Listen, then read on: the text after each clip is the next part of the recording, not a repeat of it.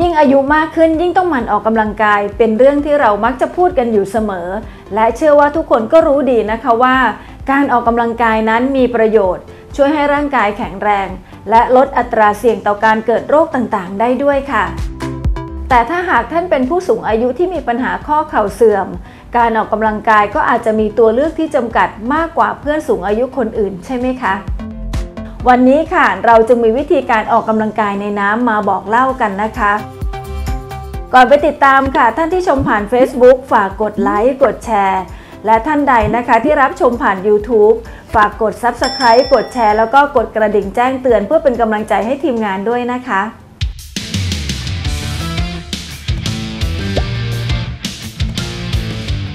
สวัสดีค่ะ ประโยชน์ของการออกกำลังกายในน้ำของผู้สูงอายุมีมากมายและค่อนข้างปลอดภัยนะคะ เพราะในน้ำจะมีแรงต้าน จึงช่วยป้องกันการบาดเจ็บ และป้องกันการหกล้มในขณะที่ออกกำลังกายได้อย่างดีค่ะ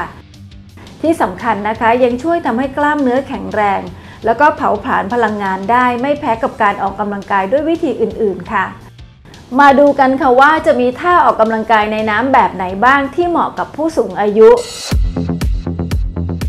อันดับแรกจ็อกกิ้งในน้ำ การจ็อกกิ้งในน้ำเป็นการออกกำลังกายแบบแอโรบิกที่เหมาะสมกับผู้สูงอายุมากค่ะ เนื่องจากมีแรงกระแทกต่ำแต่สามารถช่วยให้เลือดสูบฉีดและไหลเวียนไปเลี้ยงส่วนต่างๆ ของร่างกายได้ดีนะคะ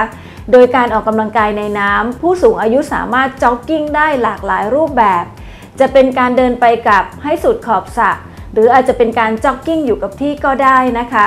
การจ็อกกิ้งในน้ำเป็นการช่วยเพิ่มอัตราการเต้นของหัวใจ ฉะนั้นจึงต้องเลือกระดับความเข้มข้นและระยะเวลาให้เหมาะสม อย่าจ็อกกิ้งเร็วหรือว่านานจนเกินไปจนร่างกายรับไม่ไหว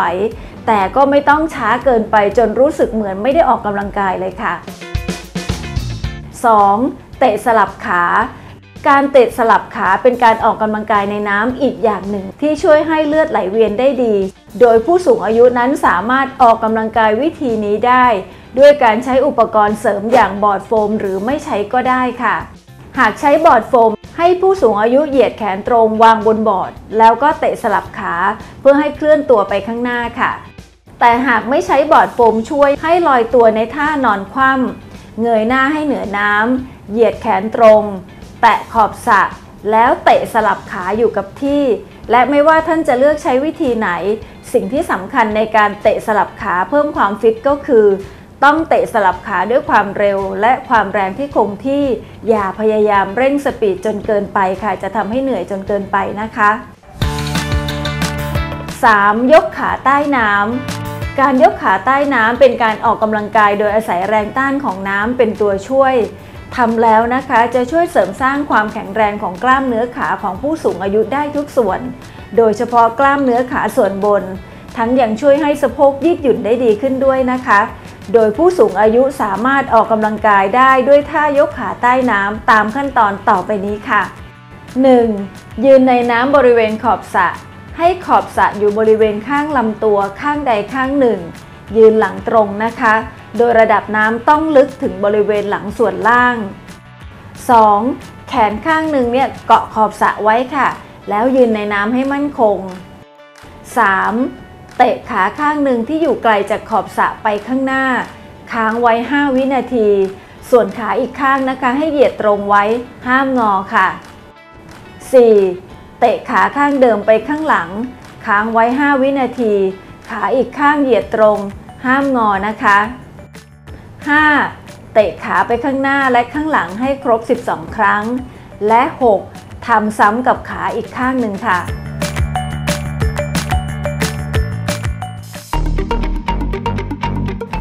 4. วิดพื้นกับผนังสระน้ำท่าวิดพื้นกับผนังสระน้ำหรือท่าวิดพื้นในน้ำนะคะ เป็นการออกกำลังกายในน้ำที่จะช่วยเสริมสร้างกล้ามเนื้อและความแข็งแรงบริเวณแขน หน้าอก และหัวไหล่ของผู้สูงอายุได้ โดยที่ข้อต่อไม่ต้องรับแรงกดมากจนเกินไป ถ้ายืนวิดพื้นในน้ำนี้นะคะ เริ่มจาก 1. ยืนในน้ำบริเวณขอบสระหลังตรง เหยียดแขนตรง ฝ่ามือแตะผนังสระน้ำให้กว้างกว่าความกว้างของหัวไหล่ในท่าเตรียมวิดพื้นค่ะ 2. ค่อยๆ งอข้อศอก เอ็นตัวไปข้างหน้า จากนั้นเอนตัวกลับ 3. วิดพื้นไปเรื่อยๆ จนรู้สึกว่าแขนเริ่มล้าจึงค่อยพอ สิ่งที่สำคัญคือต้องรู้จักขีดจำกัดของตัวเองนะคะว่าทำได้แค่ไหน ไม่ต้องรีบหรือพยายามจะเอนตัวจนรู้สึกเจ็บนะคะ 5. ยกดัมเบลในน้ำการยกดัมเบลในน้ำเป็นอีกหนึ่งของการออกกำลังกายในน้ำที่จะช่วยให้ร่างกายส่วนบน โดยเฉพาะบริเวณแขนของผู้สูงอายุแข็งแรงขึ้นค่ะ โดยอุปกรณ์ที่ต้องมีสำหรับการออกกำลังกายท่านี้ก็คือดัมเบลแบบพลาสติก ซึ่งเหมาะที่จะนำไปใช้งานในน้ำมากกว่าดัมเบลแบบเหล็กหรือว่าโลหะนะคะ โดยการยกดัมเบลในน้ำนั้นมีขั้นตอนต่อไปนี้ 1. ยืนกลางสระว่ายน้ำหลังตรง แยกขาออกกว้างเท่าความกว้างของหัวไหล่นะคะ 2. มือถือดัมเบล แขนแนบลำตัว หันฝ่ามือออกจากตัว 3. ยกดัมเบลขึ้นช้าๆ พร้อมนับ 1-3 ในใจ 4. ผ่อนดัมเบลลงช้าๆ พร้อมนับ 1-3 ในใจ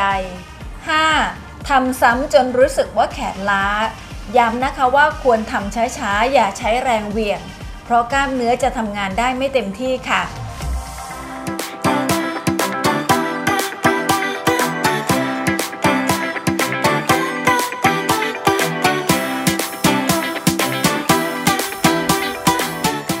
ออกกำลังกายในน้ำที่แนะนำนี้นะคะ เป็นท่าง่าย ๆค่ะ ซึ่งหากใครเพิ่งจะเริ่มต้นก็อย่าหักโหมนะคะ ควรทำครั้งละประมาณ 20-30 นาที สูงสุดไม่ควรจะเกิน 45 นาทีนะคะสำหรับคนสูงอายุที่มีอายุ 60 ปีขึ้นไป นอกจากนี้หากท่านสามารถรวมกลุ่มเพื่อนๆวัยเดียวกัน มาออกกำลังกายด้วยกัน ก็จะทำให้ท่านสนุกสนานกับการออกกำลังกายมากขึ้น แต่ทั้งนี้จะต้องมีลูกหลานที่แข็งแรง หรืออาจจะมีเทรนเนอร์ส่วนตัวคอยอยู่ด้วย เพื่อช่วยดูแลเรื่องความปลอดภัยค่ะ ส่วนผู้สูงอายุที่ยังไม่เคยออกกำลังกายในน้ำหรืออาจจะไม่เคยว่ายน้ำมาก่อน ท่านจะต้องไปตรวจร่างกายกับแพทย์ก่อน ว่าไม่มีโรคหัวใจระยะอันตราย ไม่มีปัญหาเรื่องการแพ้คลอรีน ไม่มีโรคเกี่ยวกับตา แก้วหู หรือการติดเชื้อในช่องหู และหากสระว่ายน้ำนั้นนะคะ ไม่ใช่สระว่ายน้ำส่วนตัว ท่านก็ควรจะปฏิบัติตามข้อแนะนำการใช้สระว่ายน้ำเช่น ไม่มีโรคผิวหนัง ไม่มีบาดแผลต้องทำความสะอาดร่างกายก่อนการใช้สระน้ำ และที่สำคัญนะคะ ควรจะออกกำลังกายในช่วงเวลาที่มีผู้ดูแลรักษาความปลอดภัยอยู่ด้วย เพื่อให้ผู้สูงอายุทุกท่านนั้น สามารถออกกำลังกายในน้ำได้อย่างสนุกสนานแล้วก็ปลอดภัยค่ะ สวัสดีค่ะ